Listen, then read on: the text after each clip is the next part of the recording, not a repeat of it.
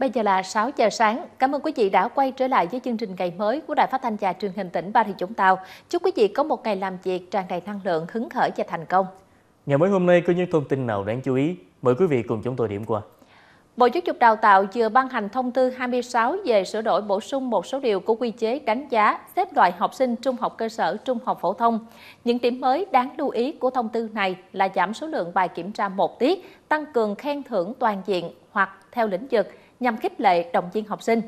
Đây đều là những nội dung có lợi cho học sinh, đặc biệt là phù hợp với chương trình giáo dục phổ thông mới đang được triển khai. À, cụ thể đó là gì? Chúng ta sẽ tìm hiểu sâu hơn qua gõ cửa ngày mới hôm nay. Hàng ngàn lao động thuộc công ty trách nhiệm hữu hạn HS Vũng Tàu hoạt động trong lĩnh vực sản xuất giày da, công việc cờ mất việc cho công ty giải thể. Việc giải quyết chế độ cũng như là tương lai những lao động này sẽ như thế nào? Quý vị cùng theo dõi trong vòng quay 24 giờ. Thưa quý vị, một lớp học tình thương miễn phí do nhóm thiện nguyện Hạnh phúc từ trái tim nhân ái vừa được mở tại xã Tóc Tiên, thị xã Phú Mỹ để giúp cho trẻ em sống tại đây có cơ hội được học tập và có một tương lai tươi sáng hơn. Ngày mới hôm nay chúng ta hãy cùng lắng động và cảm nhận sự ấm áp tình người với lớp học đặc biệt này. Còn bây giờ, mời quý vị cùng điểm lại những thông tin diễn ra trong 24 giờ qua.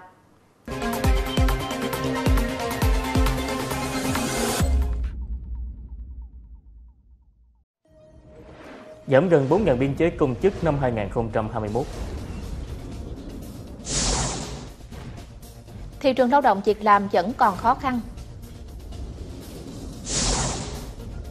Tổng thu ngân sách nhà nước 9 tháng đạt 975,3 ngàn tỷ đồng. Hàng ngàn lao động đang có nguy cơ mất việc do công ty giải thể. Mở đầu vòng quay 24 giờ sáng nay là một thông tin đáng chú ý. Thưa quý vị, Thủ tướng Chính phủ mới ký quyết định phê duyệt biên chế công chức hưởng lương từ ngân sách nhà nước của các cơ quan hành chính nhà nước và biên chế của các hội có tính chất đặc thù hoạt động trong phạm vi cả nước năm 2021. Theo quyết định của Thủ tướng Chính phủ, biên chế công chức trong các cơ quan tổ chức hành chính nhà nước năm 2021 là 247.344 biên chế. Các cơ quan đại diện của Việt Nam ở nước ngoài là 1.068 biên chế. Các hội có tính chất đặc thù hoạt động trong phạm vi cả nước là 686 biên chế. Công chức dự phòng là 552 biên chế. Tổng biên chế công chức năm 2021 trong phạm vi cả nước và biên chế công chức dự phòng là 249.650 biên chế, giảm so với năm 2020 là 3.867 biên chế. Tăng cường áp dụng và tuân thủ các quy chuẩn kỹ thuật quốc gia mới được đưa ra trong năm 2019 và năm 2020 về an toàn cho các tòa nhà, đặc biệt là trong các chung cư. Đây là nội dung chính được đưa ra trong hội thảo mới đây do Bộ Xây dựng tổ chức đến nhìn lại hơn 9 tháng triển khai các tiêu chuẩn mới này. Theo đánh giá của Bộ Xây dựng, thời gian qua, các chủ đầu tư, nhà thầu xây dựng đã triển khai các công trình áp dụng theo hai quy chuẩn quốc gia mới nhất là Quy chuẩn Việt Nam 06 năm 2020 và Quy chuẩn Việt Nam 04 năm 2019. Sau một thời gian triển khai, việc đưa các tiêu chuẩn này áp dụng nghiêm ngặt và đồng bộ hơn là một yêu cầu bức thiết trong tình hình mới, đặc biệt là trong bối cảnh quá trình đô thị hóa vẫn đang diễn ra ngày càng mạnh mẽ. Các doanh nghiệp mặc dù đã có nhận thức về việc áp dụng quy chuẩn này, nhưng vẫn còn nhiều điểm chưa rõ và vướng mắc như các quy chuẩn về không gian chung, tầng áp máy, quy chuẩn về phòng cháy chữa cháy chung. Do đó, việc lắng nghe và đưa ra những hướng dẫn cho doanh nghiệp là cần thiết. Tình hình lao động, việc làm và thu nhập của người lao động trong quý 3 đã được cải thiện so với quý trước. Tuy nhiên, các chỉ số về lao động, việc làm và thu nhập của người lao động vẫn giảm so với cùng kỳ năm trước vì còn nhiều khó khăn. Đó là nhận định của Tổng cục Thống kê tại cuộc họp báo công bố về tình hình lao động việc làm quý 3 năm nay. Theo Tổng cục Thống kê, tính đến tháng 9, cả nước có 31,8 triệu người từ 15 tuổi trở lên bị ảnh hưởng tiêu cực bởi dịch COVID-19. Dịch bệnh đã ảnh hưởng đến người lao động đang làm việc trong hầu hết các ngành, trong đó một số ngành có tỷ lệ lao động bị ảnh hưởng lớn như ngành nghệ thuật, vui chơi và giải trí, dịch vụ lưu trú và ăn uống, công nghiệp chế biến chế tạo, bán buôn bán lẻ, giáo dục đào tạo, hoạt động kinh doanh bất động sản. Đặc biệt, lao động tại khu vực nông thôn và lao động nữ vẫn là những nhóm chịu ảnh hưởng rõ rệt nhất. Cơ cấu về công việc ấy, thì nó cũng rất là thay đổi. Do vậy mà người lao động thì cần phải thích ứng đối với công việc mới à, và thích ứng bằng cách là phải thông qua cái đào tạo à, nâng cao cái đào tạo của họ để thích ứng với công việc đáp ứng tình hình công việc.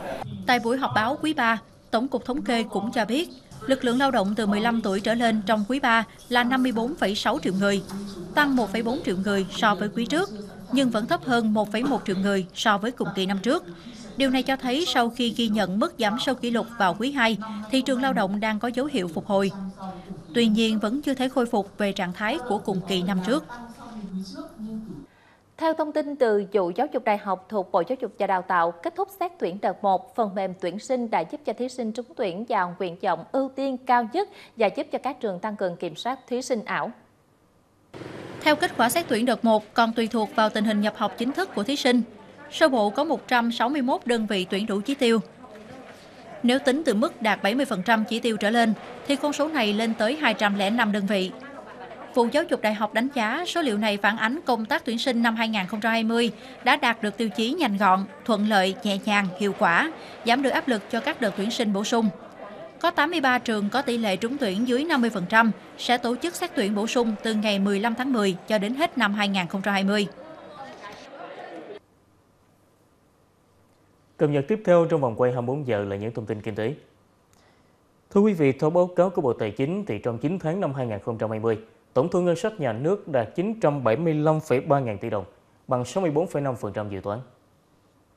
Thu nội địa tháng 9 ước đạt 80.000 tỷ đồng, lũy kế 9 tháng ước đạt 812,4 ngàn tỷ đồng, bằng 64,3% dự toán, giảm 8,3% so với cùng kỳ năm ngoái và ở mức thấp nhất so với cùng kỳ một số năm gần đây. Thu từ dầu thô tháng 9 ước đạt 2.000 tỷ đồng, giảm 330 tỷ đồng so với tháng 8 năm 2020. Bộ Tài chính cho biết, thu cân đối ngân sách từ hoạt động xuất nhập khẩu tháng 9 ước đạt 14,57 ngàn tỷ đồng, giảm khoảng 640 tỷ đồng so với tháng 8. Lũy kế 9 tháng, thu từ hoạt động xuất nhập khẩu ước đạt 134,55 ngàn tỷ đồng, bằng 64,7% dự toán, giảm trên 20% so với cùng kỳ năm trước. Nhiệm vụ thu ngân sách nhà nước hết sức khó khăn trong bối cảnh dịch bệnh vẫn đang diễn biến phức tạp trên thế giới. Ngành tài chính sẽ tiếp tục triển khai quyết liệt các giải pháp phấn đấu hoàn thiện nhiệm vụ thu ngân sách ở mức cao nhất. Trong quý cuối cùng của năm 2020, xuất khẩu nông lâm thủy sản có thể đạt trên 10 tỷ đô la Mỹ, dù các thị trường nhập khẩu nông sản Việt Nam vẫn đối mặt với dịch bệnh. Đây là thông tin tại cuộc họp báo của Bộ Nông nghiệp và Phát triển Nông thôn diễn ra ngày 6 tháng 10. Theo Bộ Nông nghiệp và Phát triển Nông thôn, tính, tính chung 9 tháng năm 2020, kim ngạch xuất khẩu nông lâm thủy sản ước đạt trên 30 tỷ đô la Mỹ, tăng 1,6% so với cùng kỳ năm trước. Đây là con số ấn tượng trong bối cảnh dịch Covid-19 tác động không nhỏ. Đã có lúc một số ngành hàng chủ lực bị tắc nghẽn do chuỗi cung ứng toàn cầu bị gián đoạn. Đặc biệt chỉ trong hai tháng vừa qua, khi mà Hiệp định Thương mại Tự do Việt Nam, Liên minh châu Âu EVFTA chính thức có hiệu lực, xuất khẩu nông lâm thủy sản sang EU ghi nhận tăng trưởng rõ rệt tháng 8 tăng so với tháng 9, tháng 7 là 11,5%. Tháng 9 tăng so với tháng 7 là 32,4%. Và những tháng tới đây sẽ còn tiếp tục tăng. Các cái doanh nghiệp, doanh nhân Việt Nam rất giỏi dù chưa hết năm, song đã có 8 nhóm mặt hàng xuất khẩu đạt giá trị trên 1 tỷ đô la Mỹ và 6 nhóm mặt hàng đạt trên 2 tỷ đô la Mỹ. Trong quý cuối cùng của năm, toàn ngành phấn đấu mục tiêu xuất khẩu đạt trên 10 tỷ đô la Mỹ, đưa tổng trị giá xuất khẩu cả năm nay đạt trên 40 tỷ đô la Mỹ. Đây cũng là đích đến mà ngành nông nghiệp đặt ra từ đầu năm. Từ nay đến cuối năm thì một số mặt hàng của chúng ta có lợi thế tiếp tục được đẩy mạnh phát huy. Mặt hàng tôm vào châu Âu mặt hàng gỗ tiếp tục được đẩy mạnh, hay là các mặt hàng hoa quả thì hiện nay một số các doanh nghiệp chế biến cái đơn hàng rất là nhiều từ nay đến cuối năm, các thị trường nhập khẩu vẫn đối mặt với tình hình dịch bệnh phức tạp. Cùng với đó, tình hình thiên tai dịch bệnh trên gia súc gia cầm trong nước cũng diễn biến khó lường. Vì vậy, dự báo việc tiêu thụ nông sản sẽ tốt hơn, nhưng vẫn sẽ gặp nhiều khó khăn. Toàn ngành sẽ tập trung giải quyết các rào cản kỹ thuật, đàm phán mở rộng thị trường, mở rộng công nhận vùng sản xuất, loại sản phẩm, doanh nghiệp xuất khẩu, đặc biệt là các thị trường EU và Trung Đông. Thưa quý vị, Tổng công ty Đường sắt Việt Nam vừa công bố kết quả sản xuất kinh doanh 9 tháng năm 2020. Theo đó, do ảnh hưởng của dịch bệnh COVID-19, vận tải hành khách giảm mạnh, dẫn đến kết quả sản xuất kinh doanh sụt giảm nghiêm trọng. 9 tháng năm 2020, sản lượng vận tải hàng hóa ước đạt hơn 3 triệu 600 ngàn tấn, bằng 99% so với cùng kỳ. Sản lượng vận tải hành khách ước thực hiện được hơn 3 triệu lượt khách trên tàu, chỉ bằng 45,7% so với cùng kỳ năm trước doanh thu vận tải đường sắt 9 tháng đầu năm giảm 34,2%, tương ứng giảm 1.179 tỷ đồng. ngành đường sắt đã tăng cường triển khai các giải pháp nâng cao chất lượng phục vụ hành khách, thu hút khách đi tàu. Cùng với đó điều chỉnh giá vé linh hoạt, giảm từ 12 đến 30% giá vé đối với tàu thống nhất và một số tàu địa phương. Khởi động từ năm 2014 cho đến nay, thì chương trình bình chọn sản phẩm công nghiệp nông thôn tiêu biểu do Bộ Công Thương tổ chức trở thành một cú hích cho nhiều sản phẩm công nghiệp nông thôn có chất lượng, giá trị sử dụng cao, tiềm năng lớn vươn ra thị trường thế giới, hình thành phát triển mạnh.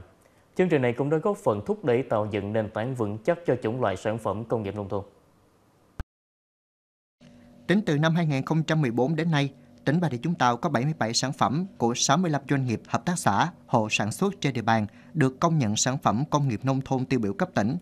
Trong đó, 24 sản phẩm tiếp tục được công nhận cấp khu vực, 7 sản phẩm được bình chọn cấp quốc gia. 2020 là năm mà Bà Rịa Vũng Tàu có nhiều nhất sản phẩm tham gia bình chọn sản phẩm công nghiệp nông thôn tiêu biểu với 87 sản phẩm. Cũng là năm có nhiều nhất sản phẩm được bình chọn cấp tỉnh 35 sản phẩm và cấp khu vực 15 sản phẩm. Năm 2020 thì ờ, đã Ờ, thu hút được nhiều cái ờ, cơ sở mới lần đầu tham gia so với các cái kỳ trước phân bố theo địa bàn thì ờ, đã có 7 trên 8 cái địa bàn cấp huyện của Bà Rịa Vũng Tàu đã tham gia và đã đạt được cả 7 địa bàn này đều có cái sản phẩm được công nhận là sản phẩm công nghiệp nông thôn tiêu biểu cấp khu vực năm 2020. Trong điều kiện thị trường hàng hóa cạnh tranh gay gắt, các cơ sở sản xuất khu vực nông thôn ngày càng chú trọng đầu tư cải tiến công nghệ, xây dựng thương hiệu. Tuy nhiên, qua bình chọn sản phẩm công nghiệp nông thôn tiêu biểu cũng cho thấy các sản phẩm tham gia phần lớn vẫn là có sản lượng và doanh thu thấp, mẫu mã, nhãn mát sơ sài, quy trình sản xuất ảnh hưởng xấu đến môi trường. Sở Công Thương Bà Rịa Vũng Tàu đặt mục tiêu giai đoạn 2020-2025 tỉnh Bà Rịa Vũng Tàu có ít nhất 150 sản phẩm được công nhận sản phẩm công nghiệp nông thôn tiêu biểu cấp tỉnh, 40 sản phẩm được công nhận cấp khu vực, 20 sản phẩm cấp quốc gia. Sở Công Thương cũng sẽ hỗ trợ 20 cơ sở công nghiệp nông thôn đầu tư về trưng bày, giới thiệu sản phẩm, cải tiến quy trình sản xuất an toàn, tiết giảm tối đa nguy cơ gây ô nhiễm môi trường. Chuyển sang những thông tin đáng chú ý khác. Thưa quý vị, ông Nguyễn Văn Thọ, Chủ tịch Ủy ban Nhân dân tỉnh Bà Rịa Vũng Tàu đã chủ trì cuộc họp thường trực Ủy ban Nhân dân tỉnh để nghe Sở Tài chính báo cáo nhu cầu bố trí xây dựng trụ sở khu phố thôn ấp trên địa bàn tỉnh. Tham dự cuộc họp có Phó Chủ tịch Ủy ban Nhân dân tỉnh ông Lê Ngọc Khánh, đại diện các sở ngành liên quan và Ủy ban Nhân dân các huyện, thị xã, thành phố. Trên địa bàn tỉnh Bà Rịa Vũng Tàu có 517 khu phố thôn ấp, trong đó còn 40 khu phố thôn ấp chưa có trụ sở và nhu cầu kinh phí xây dựng trụ sở hơn 127 tỷ đồng. Những năm gần đây, nhiều khu phố thôn ấp được sát nhập theo quy định nên số khu phố thôn ấp cũng giảm hơn. Tại cuộc họp nghe báo cáo về nhu cầu kinh phí xây dựng trụ sở khu phố thôn ấp, ông Nguyễn Văn Thọ, Chủ tịch Ủy ban Nhân dân tỉnh, đề nghị Ủy ban Nhân dân các huyện, thị xã, thành phố tiếp tục rà soát, báo cáo xác thực số liệu khu phố thôn ấp cần sửa chữa, xây mới, rà soát các cơ sở nhà đất chưa sử dụng để đề xuất bố trí trụ sở khu phố thôn ấp và gửi về Sở Tài chính tổng hợp báo cáo Ủy ban nhân dân tỉnh trong tháng 10 năm 2020. Vòng quay 24 giờ tiếp nối với những ghi nhận về hoạt động phổ biến pháp luật, tập huấn công nghệ thông tin. Hơn 250 cán bộ làm việc tại Bộ phận Tư pháp, pháp chế của các sở ngành địa phương trên địa bàn tỉnh Bà Rịa Vũng Tàu vừa được tập huấn những kiến thức về xử lý vi phạm hành chính. Hội nghị tập huấn do Ủy ban Nhân dân tỉnh tổ chức. Tham gia hội nghị tập huấn về vi phạm hành chính, cán bộ làm công tác tư pháp, pháp chế ở các sở ngành địa phương trên địa bàn tỉnh Bà Rịa Vũng Tàu được lãnh đạo Sở Tư pháp thông tin những quy định mới, cung cấp những kiến thức liên quan đến xử phạt vi phạm hành chính, hoạt động cưỡng chế thi hành quyết định xử phạt hành chính. Dịp này, học viên được giải đáp những vướng mắc trong áp dụng pháp luật về xử phạt vi phạm hành chính ở cấp cơ sở. Ban Chỉ huy Phòng chống thiên tai và tìm kiếm cứu nạn tỉnh Bà Rịa Vũng Tàu phối hợp với Trung tâm phối hợp tìm kiếm cứu nạn hàng hải Việt Nam tổ chức tuyên truyền nâng cao nhận thức trong thực hiện quy định luật pháp Việt Nam về đảm bảo an toàn, tìm kiếm cứu nạn trên biển theo công ước SAR 79 cho 100 chủ tàu thuyền đánh bắt xa bờ trên địa bàn thành phố Vũng Tàu. Các chủ tàu thuyền đã được giới thiệu một số nội dung trong thực hiện quy định pháp luật Việt Nam về đảm bảo an toàn tìm kiếm cứu nạn trên biển theo Công ước SAR 79. Một số quy định pháp luật liên quan đến an toàn tàu cá được hướng dẫn phòng ngừa, ứng phó tai nạn sự cố, xử lý một số tình huống nguy cấp trên biển, hướng dẫn sử dụng các thiết bị phụ trợ trong hoạt động tìm kiếm cứu nạn. Dịp này, Trung tâm phối hợp tìm kiếm cứu nạn hàng hải khu vực 3 đã trao tặng 100 phao tròn, 100 áo phao cho các chủ tàu thuyền đánh bắt xa bờ trên địa bàn thành phố Vũng Tàu. Sở Du lịch đang tổ chức lớp tập huấn ứng dụng công nghệ thông tin trong hoạt động quảng bá du lịch trên không gian số cho hơn 300 học viên đại diện cho các doanh nghiệp, hộ cá thể kinh doanh du lịch trên địa bàn tỉnh. Tại lớp tập huấn, các chuyên gia đến từ Google và Hiệp hội Thương mại Điện tử Việt Nam đã chuyển đến học viên những chuyên đề bổ ích như truyền thông du lịch trên không gian số, tạo hiển thị trên Google, xây dựng website chất lượng, cách làm thế nào để đưa website lên top Google. Lớp tập huấn diễn ra trong 2 ngày 6 và 7 tháng 10, giúp cho những người làm du lịch trên địa bàn tỉnh Bà Rịa Vũng Tàu tiếp cận nắm bắt thông tin mới, tận dụng những ưu thế về khoa học công nghệ để phát triển du lịch, đáp ứng nhu cầu du lịch ngày càng cao của du khách. Thưa quý vị, công ty trách nhiệm hữu hạn HS Dũng Tàu có 100% vốn Hàn Quốc do ông Lee Jae-jong thành lập. Trụ sở công ty tại số 844 Bình Giả, phường Rạch Dừa, thành phố Vũng Tàu. Theo thông báo mới đây của công ty là vì lý do thời hạn hợp đồng thuê mặt bằng sẽ hết hạn vào cuối năm 2020, nên công ty dự kiến giải thể. Vào hôm qua 6 tháng 10, công ty đã có buổi làm việc với hơn 1.600 người lao động để bàn về phương án giải quyết các chế độ và sắp xếp việc làm cho người lao động. Do doanh nghiệp có yếu tố nước ngoài nên nhóm phóng viên thời sự không thể tiếp cận với buổi làm việc này. Những ghi nhận sau đây, phóng viên thời sự tìm hiểu qua công đoàn ngành công thương, công đoàn cấp trên của công ty trách nhiệm hữu hạn HS Dũng Tàu và thông tin từ phía người lao động công ty. Công ty trách nhiệm hữu hạn HS Vũng Tàu được thành lập năm 2008, hoạt động trong lĩnh vực may giày da. Công ty có hơn 1.600 lao động. Theo ông Đặng Quốc Bình, Phó Chủ tịch Công đoàn ngành công thương trong buổi đối thoại với người lao động sáng ngày 6 tháng 10. Do thời hạn hợp đồng thuê mặt bằng sẽ hết hạn vào cuối năm 2020 và công ty cũng dự kiến giải thể, nên công ty đưa ra 3 phương án giải quyết chế độ cho người lao động. Thứ nhất, đối với lao động, chuyển qua làm việc tại công ty trách nhiệm hữu hạn Changchun Vina có trụ sở ở huyện Long Điền, cũng là một trong những công ty do ông Lee Jae-yong thành lập và phải ký lại hợp đồng lao động và theo chế độ lao động mới. Thứ hai, đối với người lao động chuyển về công ty trách nhiệm hữu hạn Hoa Xuân Vina, có trụ sở tại huyện Nhân Trạch, tỉnh Đồng Nai, được giữ nguyên mọi chế độ. Đối với người lao động không chấp thuận cả hai phương án, thì công ty chấm dứt hợp đồng và hỗ trợ 30% mức lương cơ bản. Hầu hết người lao động của công ty trách nhiệm hữu hạn HS Vũng Tàu đều không đồng tình với hai phương án.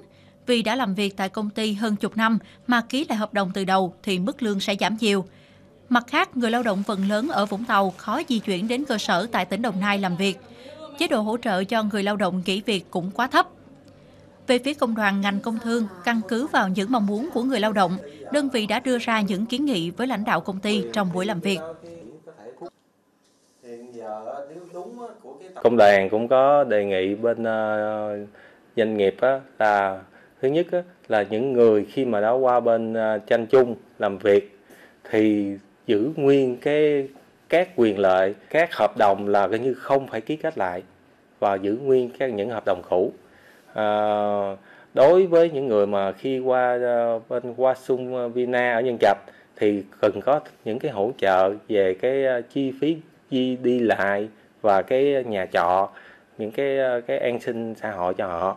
Và cái thứ ba là đối với những người chấm dứt hợp đồng thì đề nghị thì các người lao động cũng đề nghị doanh nghiệp hỗ trợ họ từ 2 tới 3 tháng lương để họ đi tìm việc mới.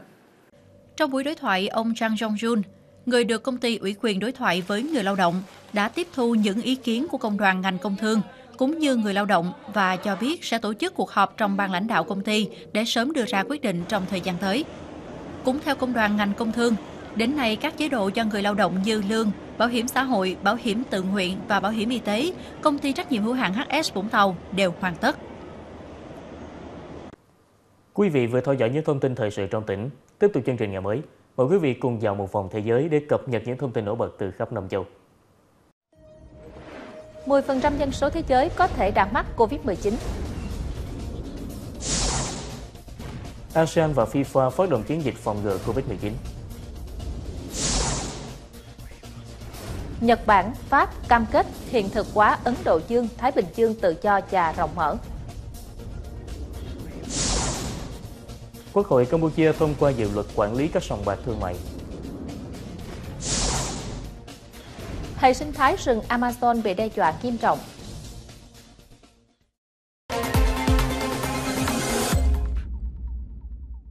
Bản tin Thế giới 360 độ hôm nay mở đầu với một khuyến cáo liên quan đến dịch bệnh COVID-19 từ Tổ chức Y tế Thế giới. Thưa quý vị, Tổ chức Y tế Thế giới WHO vừa ước tính khoảng 10% dân số thế giới có thể đã mắc COVID-19, đồng nghĩa với việc đại dịch dẫn diễn biến phức tạp và đa số người dân trên toàn thế giới vẫn đang đứng trước nguy cơ mắc căn bệnh nguy hiểm này. Giám đốc phụ trách các chương trình khẩn cấp của Tổ chức Y tế Thế giới WHO cho biết, dịch COVID-19 đang có chiều hướng gia tăng tại khu vực Đông Nam Á, cũng như nhiều khu vực tại châu Âu và Đông Địa Trung Hải. Theo ước tính của WHO, cứ 10 người trên thế giới thì có một người có thể đã mắc COVID-19. Mặc dù tỷ lệ này không đồng đều giữa các quốc gia, giữa khu vực nông thôn và thành thị hay giữa các nhóm dân số, song điều này vẫn giống lên hồi chuông cảnh báo về khả năng lây nhiễm vẫn ở mức cao và thế giới đang bước vào giai đoạn khó khăn khi dịch bệnh vẫn tiếp tục lan rộng. Trong giai đoạn phục hồi ở cả các nền kinh tế mới nổi và phát triển sau thời gian suy giảm vì tác động của đại dịch Covid-19, thì đầu tư công nên đóng vai trò trung tâm. Đây là nhận định của Quỹ tiền tệ quốc tế vừa đưa ra. Quỹ tiền tệ quốc tế IMF nêu rõ, việc đẩy mạnh những khoản chi tiêu với mức lãi suất thấp trên toàn cầu có thể giúp tạo ra hàng triệu việc làm trực tiếp trong ngắn hạn và hàng triệu việc làm gián tiếp khác trong dài hạn. Và đây chính là thời điểm để tăng cường đầu tư công khi nhiều quốc gia vẫn đang tiếp tục chống dịch và nhiều người dân đã mất việc làm vì cuộc khủng hoảng do đại dịch, nay muốn đi tìm việc làm mới.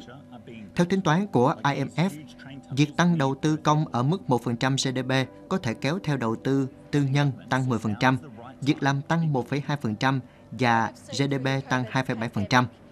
Ước tính, cứ 1 triệu đô la Mỹ chi cho cơ sở hạ tầng truyền thống sẽ giúp tạo ra 2 đến 8 việc làm, trong khi cùng số tiền đó chi cho nghiên cứu phát triển công nghệ xanh sẽ tạo ra 5 đến 14 việc làm. Cineworld, chuỗi rạp phim lớn thứ hai thế giới, vừa thông báo sẽ đóng cửa tất cả rạp chiếu phim ở Anh và Mỹ trong tuần này do đại dịch Covid-19 vẫn chưa được kiểm soát và hàng loạt phim bom tấn phải hoãn chiếu. Quyết định của Cineworld đồng nghĩa sẽ có khoảng 45.000 nhân viên thất nghiệp. Cineworld thông báo rằng toàn bộ 536 rạp Regal ở Mỹ, 127 rạp Cineworld và Peterhouse ở Anh đều sẽ đóng cửa từ ngày 8 tháng 10. Giám đốc điều hành Cineworld Mookie Credenzer cho biết việc đóng cửa chỉ là tạm thời và thời điểm mở lại rạp tốt nhất là giữa tháng 12, dù cũng có thể lâu hơn. Tính từ đầu năm đến nay, cổ phiếu của Cineworld đã lao dốc hơn 80%. Dù nhiều hoạt động kinh doanh đã phải đóng cửa hoặc là giảm quy mô hoạt động do dịch Covid-19, song đây cũng là thời điểm để một số doanh nghiệp tận dụng sự thay đổi cuộc sống, làm việc của mọi người để chuyển hướng đầu tư phát triển. Trong số các doanh nghiệp tận dụng thành công sự thay đổi của thế giới khi dịch bệnh Covid-19 xảy ra, có các nhà sản xuất xe đạp từ Bồ Đào Nha.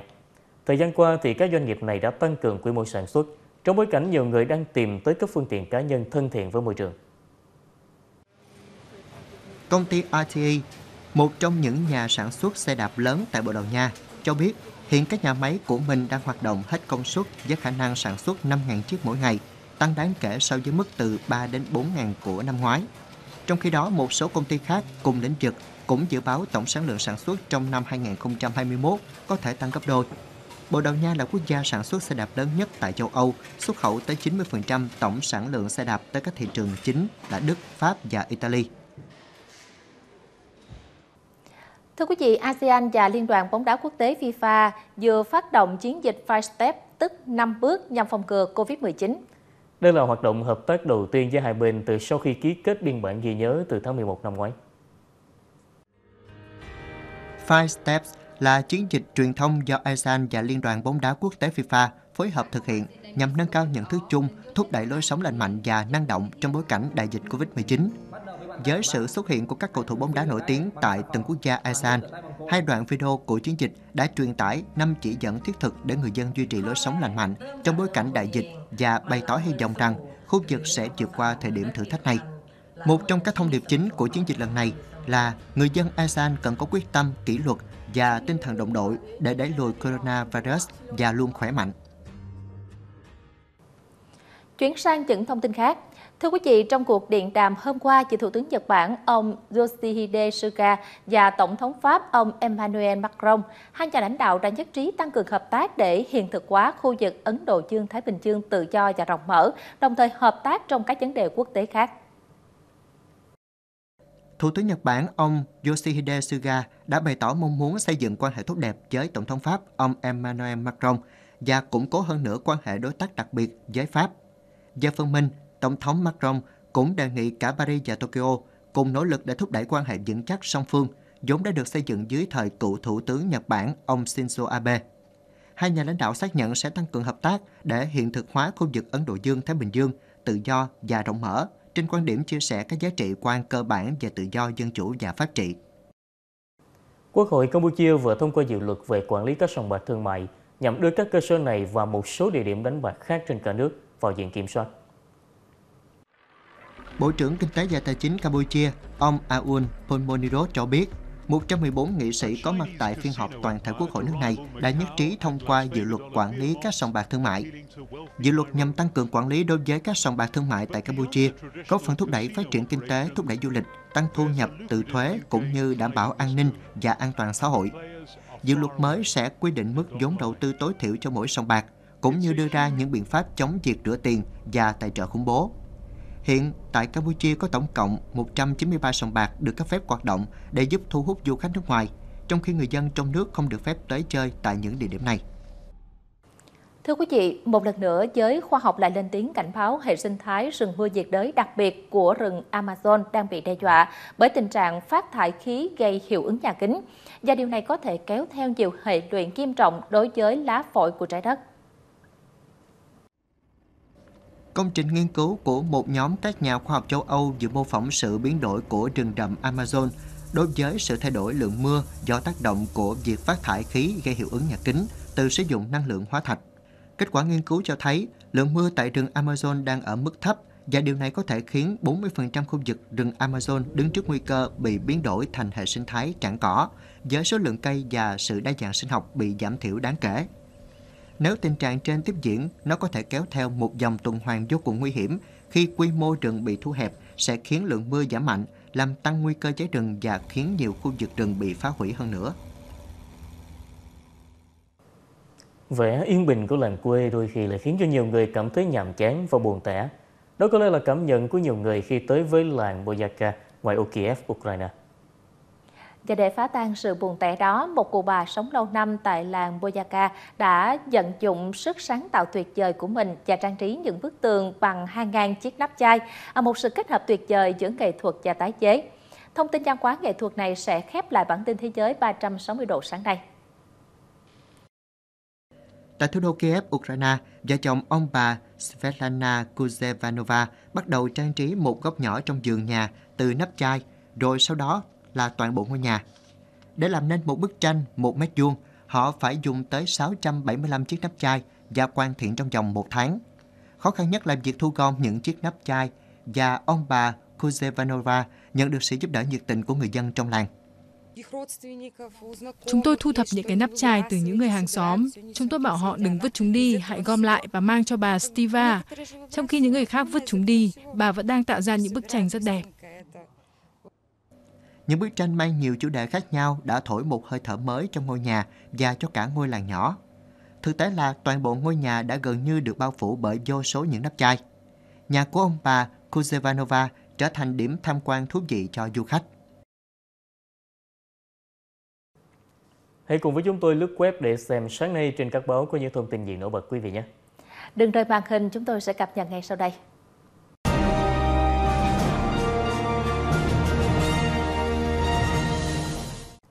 Tiêu điểm báo chí hôm nay sẽ mở đầu với một thông tin được dư luận đặc biệt quan tâm liên quan đến việc một thanh niên dương tính với Covid-19 khi đi từ sân bay Nội Bài sang Nhật Bản vào ngày 4 tháng 10 vừa qua. Theo báo tuổi trẻ, đây là trường hợp thứ 12 từ nội bài đi Nhật, Hàn Quốc và Pháp có kết quả xét nghiệm dương tính bằng test nhanh tính từ tháng 8 đến nay. À, tuy nhiên đã có 10 trên 12 ca âm tính khi xét nghiệm lại bằng real-time PCR. Báo Tuổi Trẻ thông tin thêm, hiện Trung tâm An ninh Hàng không Nội Bài đã rà soát quá trình hành khách làm thủ tục tại Nội Bài. Sơ bộ xác định có 6 người là nhân viên an ninh hàng không, cán bộ cửa khẩu có tiếp xúc với hành khách này. Hiện nhóm nhân viên này đang được tạm cách ly đợi kết quả xét nghiệm lần 2 của thanh niên này theo quy định. Cũng ờ, liên quan đến thanh niên có kết quả dương tính với Covid-19, báo dân chỉ đưa tin. Thanh niên này sinh năm 1987, quốc tịch Nhật Bản, đang làm việc tại một công ty ở huyện Thủy Nguyên, Hải Phòng và đang sinh sống tại quận Lê Dân. Trước khi về Nhật Bản, thanh niên này đã tổ chức buổi liên hoan chia tay với các đồng nghiệp. Hiện tại, Sở Y tế Hải Phòng đã triển khai các biện pháp xử lý các địa điểm liên quan. Tờ báo Dân trí qua rà soát đã xác định được 162 trường hợp F1 của thanh niên người Nhật Bản nghi nhiễm Covid-19. Tất cả đang được cách ly tại nhà. Sở Y tế Hải Phòng đã lấy 125 mẫu xét nghiệm gửi về Trung tâm Y tế Dự phòng thành phố làm xét nghiệm. Trung tâm Y tế các quận huyện đang tiếp tục điều tra, rà soát các trường hợp F2. Bên cạnh đó, thì Sở Y tế đã chỉ đạo phun khử khuẩn nơi làm việc và tầng 5 khách sạn nơi mà thanh niên này ở. Thưa quý vị, chiều hôm qua 6 tháng 10, dùng áp thấp trên Biển Đông đã mạnh lên thành áp thấp nhiệt đới. Trong hôm nay, áp thấp nhiệt đới này ảnh hưởng trực tiếp đến các tỉnh Nam Trung Bộ. Báo Thanh niên đã dẫn lời ông Vũ Xuân Thành, Phó Tổng cục trưởng Tổng cục Phòng chống thiên tai, cảnh báo những ngày tới, Trung Bộ sẽ có hai đợt mưa lớn liên tiếp và nguy cơ xuất hiện lũ lớn, ngập lụt trên diện rộng trong thời gian kéo dài đã từng xảy ra những năm trước. Trước diễn biến mưa lũ phức tạp này, ông Thành đề nghị các tỉnh trong vùng cảnh báo có mưa lớn, sẵn sàng phương án sống chung với lũ, đảm bảo cuộc sống sinh hoạt cho người dân trong điều kiện ngập lụt, mưa lũ kéo dài. Tính đến thời điểm này thì hầu hết các trường đại học đã công bố điểm chuẩn. Điểm nổi bật của mùa tuyển sinh năm nay là điểm trúng tuyển của nhiều trường vượt qua mức kỷ lục của năm 2017. Dù đã được dự báo điểm chuẩn sẽ tăng mạnh, nhưng nhiều người vẫn ngỡ ngàng với mức trúng tuyển chính thức được các trường công bố, nhất là các trường kỹ thuật, công nghệ, kinh tế. Theo ghi nhận của phóng viên báo Sài Gòn Giải phóng thì đến thời điểm này dẫn đầu về điểm chuẩn là ngành Hàn Quốc học của trường Đại học Khoa học Xã hội và Nhân văn, Đại học Quốc gia Hà Nội với 30 điểm. Kế tiếp là ngành khoa học máy tính của trường Đại học Bách khoa Hà Nội lấy 29,04. Đây cũng là mức điểm chuẩn cao nhất của trường từ trước cho tới nay. Điểm chuẩn cao nên theo nhận định của Bộ Giáo dục Đào tạo, dù thí sinh 27 điểm vẫn bị trượt nếu chỉ đăng ký một nguyện vọng hoặc chỉ đăng ký vào các ngành các trường thuộc nhóm đầu có mức độ cạnh tranh rất lớn.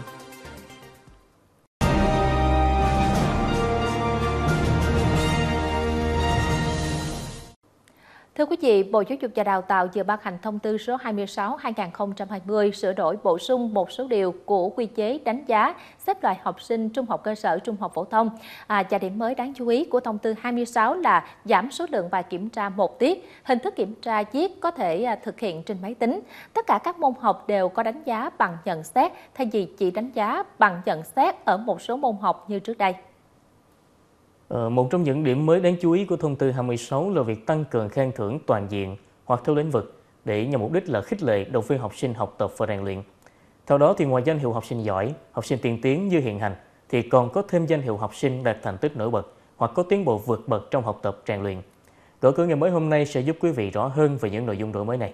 Mời quý vị cùng theo dõi.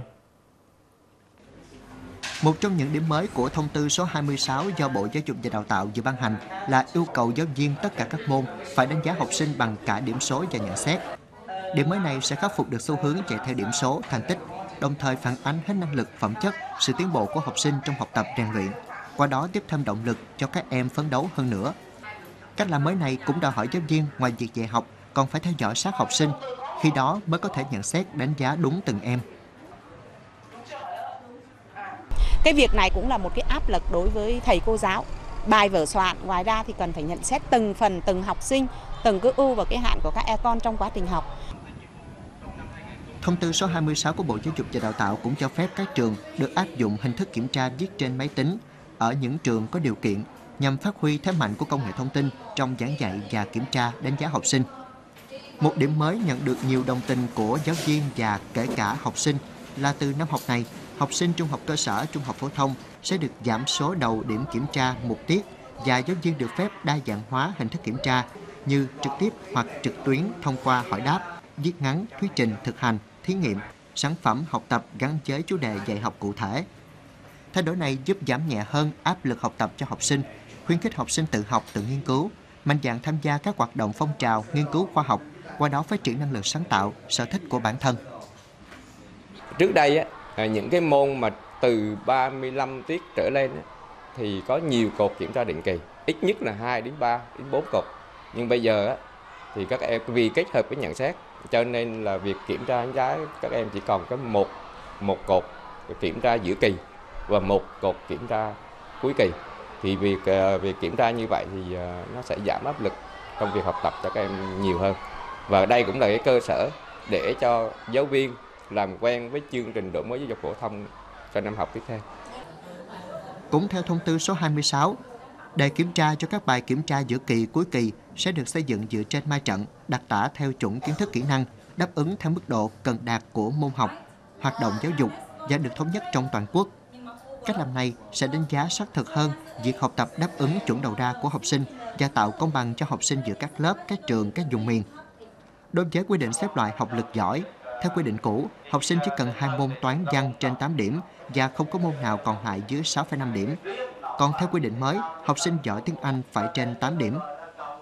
Việc bổ sung tiêu chí học giỏi môn tiếng Anh là yêu cầu, là động lực thúc đẩy học sinh đầu tư cho môn học này hơn nữa trong bối cảnh hội nhập ngày càng sâu rộng. Bây giờ chúng ta đã mở rộng cái quan hệ quốc tế và cái cái tăng cường học tiếng Anh trong nhà trường theo cái, cái ờ, chỉ đạo của Ủy ban tỉnh và của Hội đồng nhân dân tỉnh. Thì đối với học sinh thì cái môn tiếng Anh bây giờ là vừa là để các em có kiến thức nền để các em có thể thi vào các trường đại học. Rồi sau này các em học đại học thì ra ờ, đi làm, đi công tác thì cũng đã ờ, sẽ được ứng dụng nhiều. Thông tư số 26 của Bộ Giáo dục và Đào tạo có hiệu lực từ ngày 10 tháng 11 năm 2020, phù hợp với chương trình giáo dục phổ thông mới, tiếp tục lấy học sinh làm trung tâm, hướng đến mục tiêu phát triển toàn diện học sinh đáp ứng được yêu cầu thực tiễn của xã hội. Trong thời gian tới, Bộ Giáo dục và Đào tạo và Sở Giáo dục và Đào tạo sẽ triển khai tập huấn hướng dẫn cho các trường thực hiện đúng các quy định mà Bộ vừa ban hành.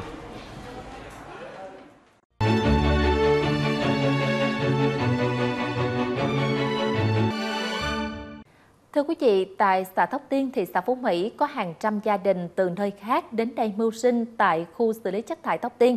Do cuộc sống khó khăn, vất vả nên à, cha mẹ đi đâu thì con cái theo đó, cùng sống cùng làm với cha mẹ.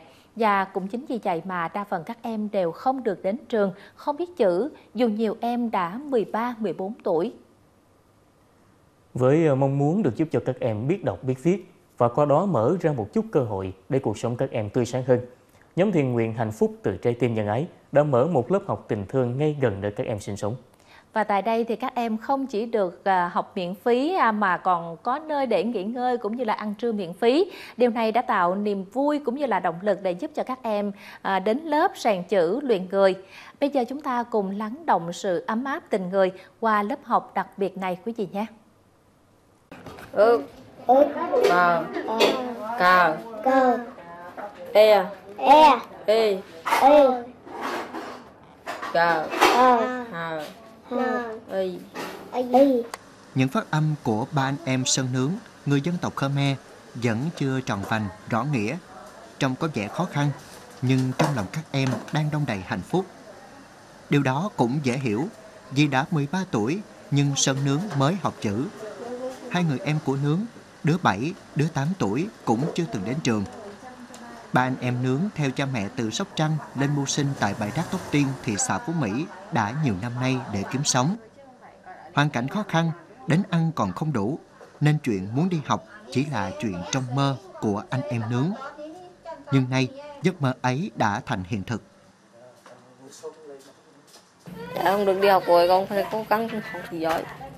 Rồi tôi ờ, bốn đứa con, tôi nghèo khổ, tôi chưa có tiền cho con đi học. Bây giờ ông Thị Dương ờ, giúp đỡ tôi còn cảm ơn mừng lắm. Cách đó không xa, em Thạch Thị Thảo Lan 9 tuổi cũng đang nắng nót những nét chữ đầu tiên trong đời. Bị bệnh tim bẩm sinh, lại bị cha mẹ bỏ rơi ở cùng bà nội nghèo, nên em cũng phải theo bà đến bãi rác Tóc Tiên để mưu sinh. Rất thích được đi học, nên khi biết tin có lớp học tình thương, Thảo Lan là người đầu tiên xin đăng ký. Rất muốn đi học nhưng mà cha mẹ con rất nghèo nên không được đi học. Hôm nay con rất được đi học con rất là vui. Con sẽ học thật giỏi để kiếm tiền nuôi em và nuôi cha mẹ. Theo khảo sát sơ bộ của Ủy ban Nhân dân xã Tóc Tiên, trên địa bàn xã có hơn 30 trẻ em từ 6 đến 14 tuổi không biết chữ. Hầu hết đều là con em các gia đình từ các tỉnh miền Tây đến bãi đá Tóc Tiên mưu sinh. Trước tình trạng này, nhóm từ thiện Hạnh phúc từ trái tim nhân ái gồm các thành viên đến từ thị xã Phú Mỹ và thành phố Hồ Chí Minh đã quyết định mở một lớp học tình thương để dạy chữ cho các em. Lớp học được xây dựng trên phần đất gia đình anh Quách Bình Dương là trưởng nhóm. Chỉ tính riêng việc xây dựng lớp học và chuẩn bị cơ sở vật chất bước đầu đã là hơn 700 triệu đồng, từ nguồn tiền do chính các thành viên trong nhóm đóng góp. Tất cả anh em là cùng đồng lòng và thông qua địa phương thì địa phương cũng đồng lòng và phụ huynh các thứ ở đây là tất cả mọi người nói chung là đều đồng lòng là là, là hướng tới là mở được cái lớp này thì rất là tốt. Nên là nó cũng là cái động lực là để là, là mình mở cái lớp này. Đấy, mình mở cái lớp này là cái điều mong muốn là muốn cho các em là thứ nhất là biết được cái cái cái, cái, cái con chữ đấy và tính toán cơ bản về là môn văn và môn toán. Cái thứ ba là cái đạo đức ngay ngày khai giảng năm tháng 10 vừa qua lớp đã có 16 em tham gia. Và chỉ một ngày sau đã có 22 em theo học. Lớp học được duy trì hai buổi một ngày từ thứ hai đến thứ sáu hàng tuần. Để thu hút động viên các em đến lớp theo lớp nhóm từ thiện hạnh phúc từ trái tim nhân ái đã hỗ trợ sách vở đồ dùng học tập và bữa trưa miễn phí. Ngay lễ khai giảng, các em còn được nhận 200.000 đồng để may đồng phục và nhiều phần quà khác từ các mạnh thường quân. Đa số các con mới biết đến thì không biết chữ, chưa biết một con chữ nào cho nên là đến ở đây thì đầu tiên thì à, à, cô giáo cùng các cái mạnh thường quân là sẽ có kế hoạch là cho các con học cái mặt chữ trước sau đó thì phải khảo sát lại từng em. Cái lớp này là lớp lắp ghép từ lớp 1 cho đến lớp 5. Chứ không phải như dạy ở trường phổ thông mà một à, cô giáo chủ nhiệm một lớp. Riêng cô đó là phải dạy từ lớp 1 đến lớp 5. Cho nên là cũng khó khăn cho cô giáo mà cũng khó khăn cho tất cả các mình thường quân. Nhưng tất cả đều là à, có một ý chí tình thương là cao cả Và mình là người công dân Việt Nam mình làm cái lớp này và cái quỹ của mình ấy là mình muốn phát triển triệt để là là là về cái vấn đề giáo dục xóa mù chữ này ở trên toàn quốc đấy là bây giờ là mình đang làm là Vũng Tàu này là mình muốn làm triệt để Vũng Vũng Tàu xong mình sẽ đi phát triển ở các tỉnh thành khác chứ không hẳn gì ở địa phương mình riêng của mình để trẻ em nghèo đang mưu sinh tại bãi rác Tóc Tiên có một tương lai tươi sáng hơn cần rất nhiều yếu tố đó là sự quan tâm, hỗ trợ của cộng đồng, sự ủng hộ của gia đình và quan trọng nhất là khát vọng đeo đuổi con chữ và ý chí vươn lên của chính các em.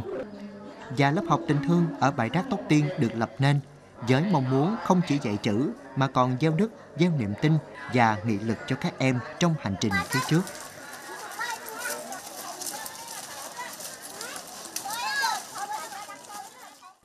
Câu chuyện về lớp học tình thương của nhóm từ thiện hạnh phúc từ trái tim nhân ái vừa rồi thật là đáng trân trọng phải không thưa quý vị? Và chúng tôi hy vọng qua câu chuyện này sẽ góp phần lan tỏa những việc làm hay, ý nghĩa trong cộng đồng xã hội để có thêm nhiều hoàn cảnh khó khăn khác được giúp đỡ.